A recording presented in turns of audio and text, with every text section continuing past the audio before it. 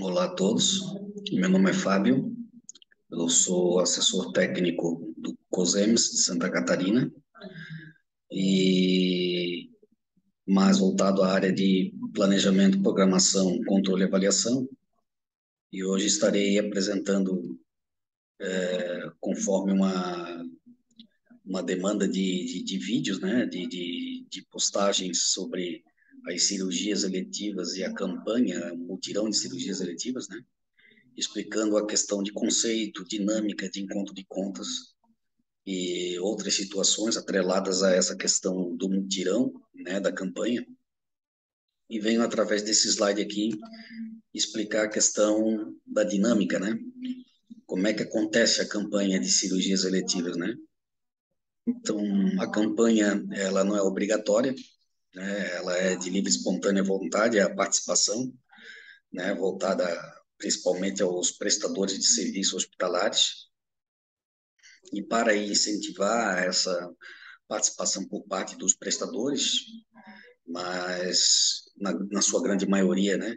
Os hospitais é, desde o início da, da concepção de mutirão, de campanha dentro da, da, da saúde, né, a nível de União e Estado, é, se aplica a questão do pagamento de um prêmio, né, atrelado àquele procedimento que vai se executar, para estimular aí o hospital e, e a equipe médica, né, a executarem aquele procedimento que terá um custo, digamos aí, diferenciado, né, um valor de pagamento diferenciado do que a tabela SUS já paga na sua normalidade.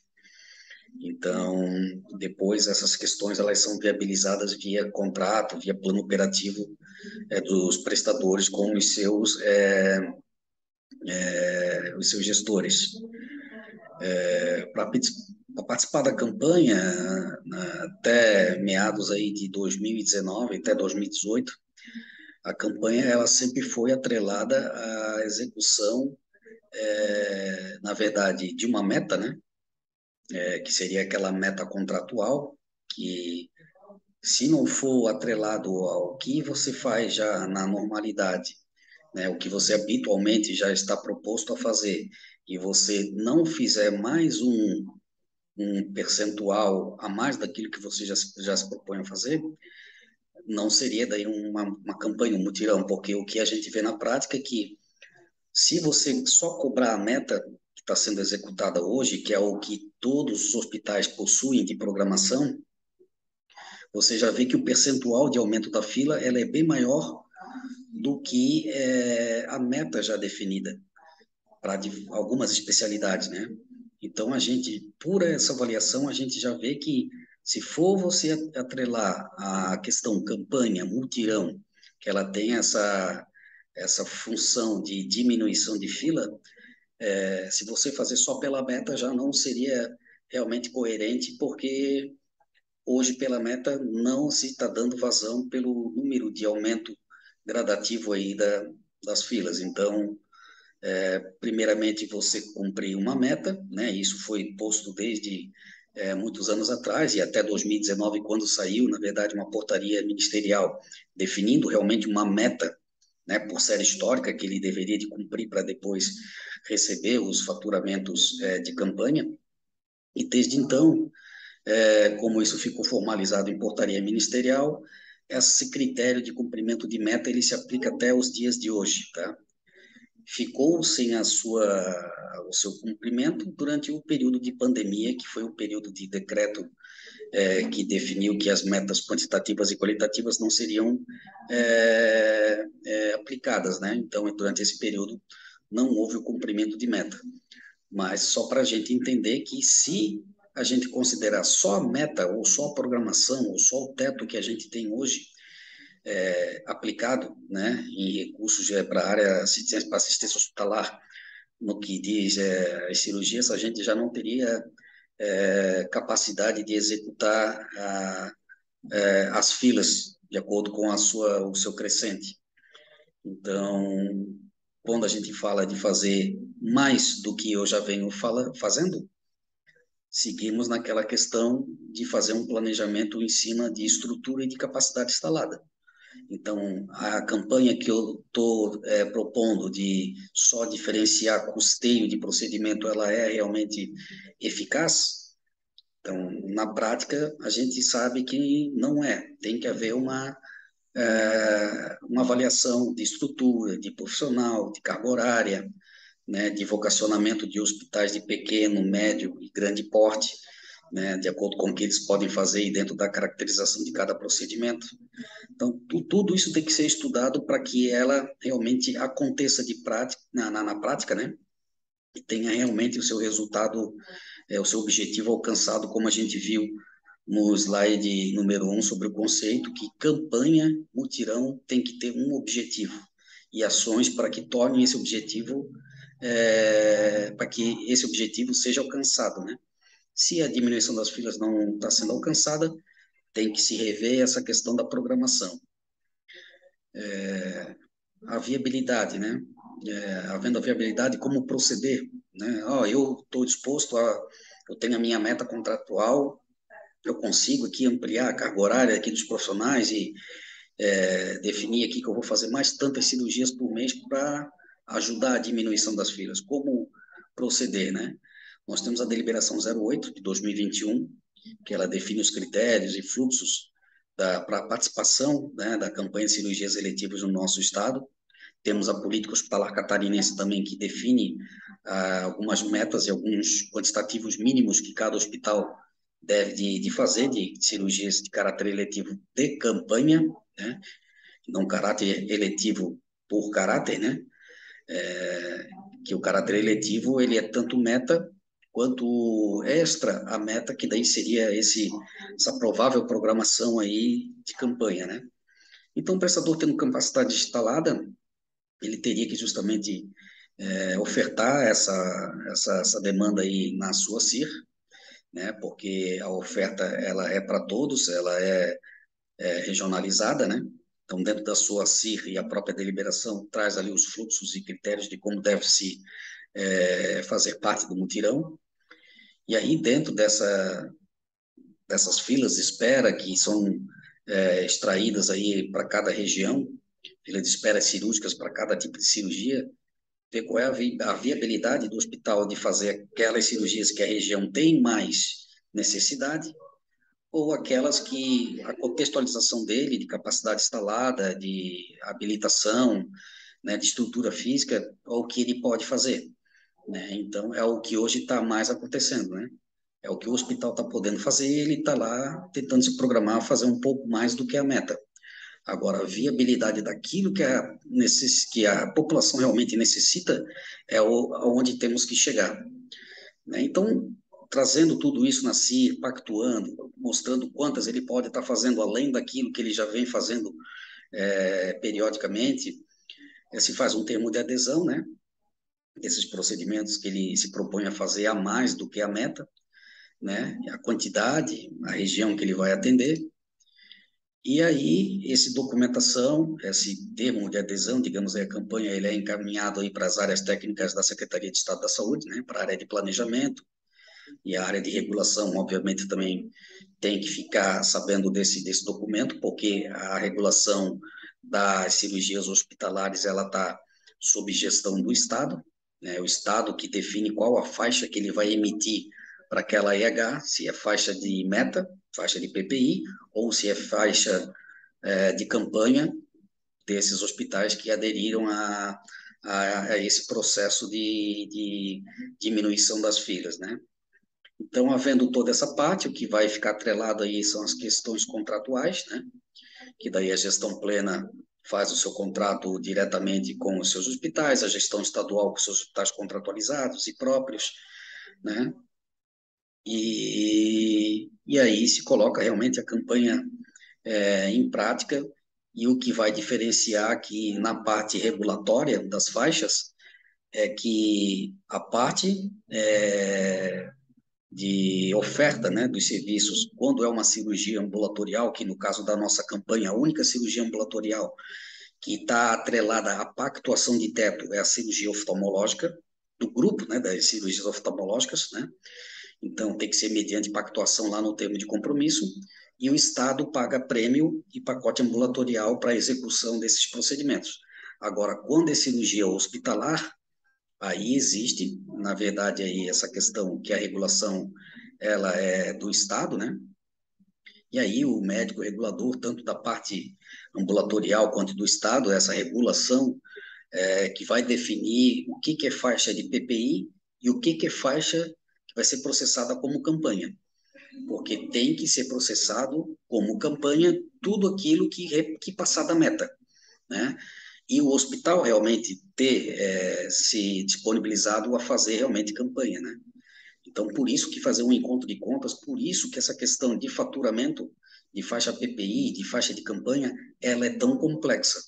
Você imagina uma central de regulação é, regional aí, com todo esse material na mão, esses termos de compromisso dos hospitais da região, e saber qual é o procedimento, até onde eu tenho que emitir a faixa de PPI, até onde que eu tenho que, quando que eu tenho que emitir faixa de campanha, sendo que o solicitante também lá se programa em colocar que é para campanha, outro, e o que é PPI, né? Então, existe todo esse mecanismo aí regulatório que incide depois sobre o faturamento e onde é apresentado nos encontros de contas é, esses critérios aí que fazem é, os ressarcimentos aí para quem executou, né? Então, por isso que todo encontro de contas tem, sempre tem que haver uma revisão e ver como é que esses procedimentos uh, foram faturados, qual a caracterização de cada procedimento, né?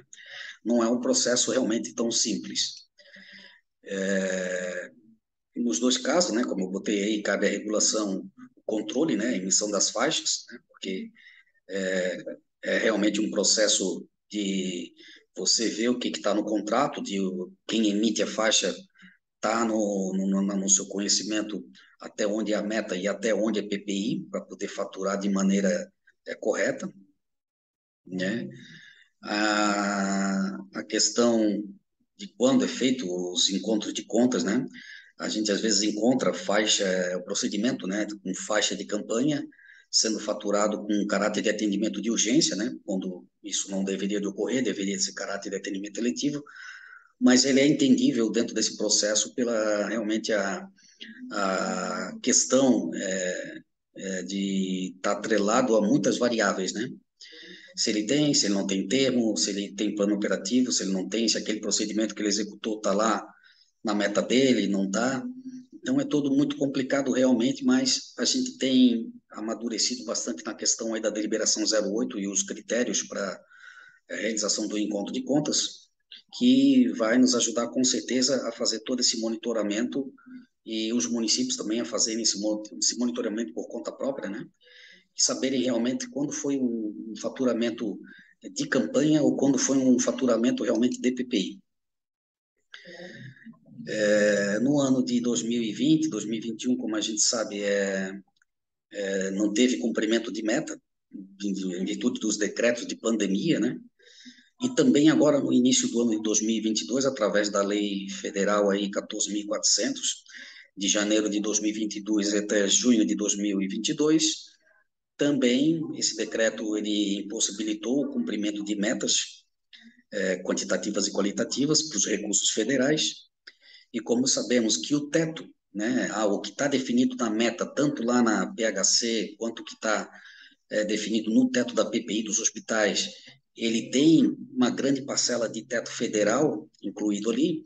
Então, nos encontros de contas também não era para ter, ou quem aplicou o cumprimento de meta não era para ter sido aplicado.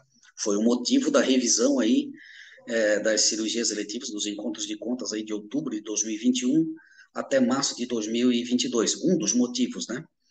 Foi justamente essa questão porque não deveria ter sido cumprido meta, né? Agora, a partir de de julho de 2022, não havendo a prorrogação é, dessa lei, aí sim volta-se volta a cumprir né, é, o, a meta, e aí certamente essa deliberação 08 voltará a ser discutida. Vamos considerar o que como meta? A meta a média do ano de 2019, como está definido hoje a meta de produção cirúrgica, né, do rol dos procedimentos da campanha e da produção do ano de 2019, como está hoje, vamos definir que é o teto da PPI, já vista que a campanha ela vem a incentivar ou a ressarcir, né, o, o hospital e os profissionais é, médicos e não ressasse o prestador de serviço, o, o, gestor do prestador de serviço, que é ele quem paga aquela produção excedente, né? Então, temos que rever também esse, esse ponto. Então, se a partir de julho de 2022 é, não haver mais essa questão de descumprimento ou de não aplicação da meta, certamente esse critério ele voltará à tona e voltará à discussão em Câmara Técnica de Gestão e CIB do que a gente vai definir como meta, tá? Tanto para a parte ambulatorial como para a parte hospitalar. Uma das condições é a gente já dividir a meta do que é ambulatorial e a meta do que é hospitalar, e uma coisa não está junta com a outra, né? Então, isso certamente vai virar um, é, uma fonte de, de, de, ou pauta né, nas próximas câmaras técnicas aí para que a gente possa rediscutir essa questão. Temos a questão da meta, né, definida na, na, na, no encontro de contas ou na adesão né, da campanha de cirurgias eletivas, que é a meta do que eu venho tenho hoje como é, média né, do ano de 2019 de produção, embora tá, não foi aplicada até a presente data, mas digamos que a partir de julho será aplicado, nós vamos, como eu falei anteriormente, nós vamos rever essa questão dessa meta, mas hoje existe uma meta lá já. Então, ele primeiramente terá que fazer essa meta, esse é o regramento que está exposto, para depois fazer o que é, é provavelmente a sua abertura de, de além do que ele faz, né, do, além do que ele já vem fazendo, para faturar realmente como campanha e ter a finalidade, sempre estou repetitivo nessa questão, ter a finalidade de diminuição de fila, né, que é fazer aquilo que eu já faço na, na, na minha condição normal. E na PHC, além do, do, do, encontro de contas que paga a produção, paga prêmio, paga pacote ambulatorial, também na política hospitalar catarinense, os hospitais, de acordo com a sua classificação, de acordo com o seu porte que ficaram classificados, eles têm um número mínimo de cirurgias que eles têm que fazer por mês, né? E diante dessa, desse condicionante também, se eles não fazem esse mínimo é, exigido, eles são descontados do seu valor é definido pelo, pelo, pelo porte.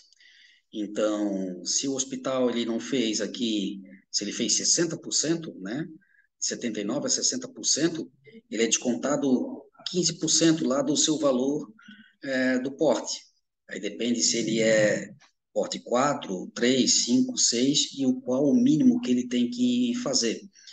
Né? Então, tem esse critério aqui que estabelece que se ele fizer mais do que aquilo que já está proposto, ele ganha né, e, o incentivo. Se ele não fizer, ele é descontado. Se ele fizer, ele ganha um prêmio. Só que o que a gente vê na prática é que realmente a, a, a capacidade instalada dos hospitais ela realmente já está a nível digamos aí, de quase 100% de, de capacidade, né? A taxa de ocupação é alta do, do, do, das internações, então são critérios de cumprimento de meta lá pela campanha, são critérios aqui de você atingir um mínimo pela política hospitalar, que daí você é, tem que fazer esse esforço realmente para poder é, alcançar esse mínimo.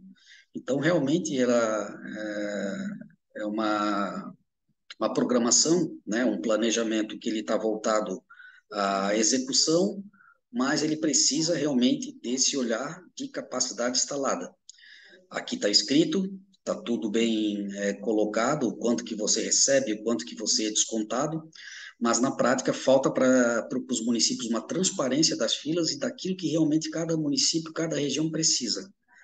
Né? E aí transcrever isso é, em ações né, de como na nossa região, de como na sua região, isso pode ser fomentado através da política hospitalar, através da campanha, através da política de saúde, né, trazer essa estrutura para que esses procedimentos realmente tenham a sua a execução de forma a que não a, haja mais aumento da fila ou que a fila venha a ser reduzida em virtude dessas ações.